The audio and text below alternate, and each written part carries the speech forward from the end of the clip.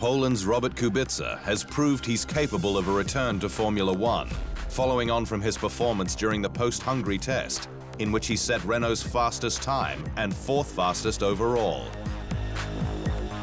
Kubica's taste of the RS-17 was the final hurdle in determining whether a comeback was possible after a six and a half year hiatus following the 2011 rally accident that partially severed his right forearm.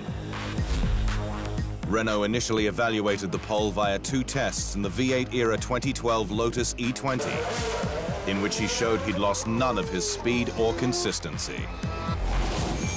And in the Hungary test, Kubica completed 142 laps with minimal brakes. His best lap time 1.4 seconds down on Vettel, but ahead of both Toro Rosso drivers. The pole's top lap set on the ultra softs. The former Grand Prix winner for BMW Sauber now feels he can tackle a full race distance, but must wait for Renault to make up its mind. I would like more opportunities, but the reality is that I don't know, said Kubica. We will have to wait and see. Rumours continue to swirl that Kubica will replace Jolyon Palmer for 2018, with the Brits still yet to score a point. The 2018 introduction of forward cockpit protection device Halo continues to divide the Formula One community. But Mercedes protege George Russell has revealed an unexpected positive during the post-Hungary test. Russell, the first to try the Halo since the device was approved for 2018, tested it for just an outlap and inlap and said not only was visibility better than expected, but the Halo blocked the sun from his eyes so I actually saw more than I would usually see on circuit at 5.30 p.m. when the sun is low, he said. He did, however, suggest seeing the starting light gantry may be tougher, though did not get a chance to test it. The 19-year-old spent two days in the W08, clocking 209 laps, with his best time a 119.231 on day one half a second adrift of race driver Valtteri Bottas, who was testing tyres for Pirelli. Russell currently leads the GP3 championship with two wins, nine points up on teammate Jack Aitken, with the Brit highly rated by Mercedes. George Russell caught my eye a couple of years ago when uh, he walked into my office, sent me an email whether he, I would have 10 minutes to have a chat with him.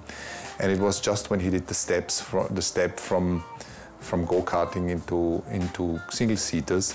And he was a very confident uh, young man with a great track record in go-karting. Red Bull Racing team principal Christian Horner has said he was impressed Lewis Hamilton returned third place to his teammate Valtteri Bottas at the end of the Hungarian Grand Prix. The switchback, which was promised if Hamilton could not pass the Ferraris ahead, could make a difference at the end of the season, the Brit giving up three points to honour the deal. And 14 points now the gap to main title rival Ferrari's Sebastian Vettel. But while Horner was impressed, he wasn't surprised Mercedes swapped the pair back, despite Red Bull's Max Verstappen on their tails. It would have been harsh on Valtteri, because you are effectively telling him you are out of the championship the moment you did that, Horner said. The Hungaroring is finally set to receive a much-needed facelift following next year's Hungarian Grand Prix. The tight and twisty track, located around 30 kilometers northwest of Budapest, has had largely unchanged facilities since the first race in 1986, when F1 first went behind the Iron Curtain. But a 136 million US dollar upgrade will see a new main grandstand and pits and paddock complex, bringing the Hungaroring in line with other upgraded F1 circuits like Silverstone, which had a huge makeover in 2011. TheInsideLine.com for everything Formula One.